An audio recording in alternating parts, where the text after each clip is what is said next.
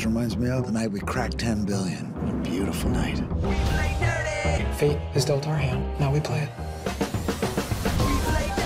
We need an idea that will shock and awe. Be cold and act. Don't get hung up on emotion.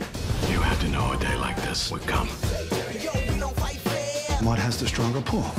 Fear or money?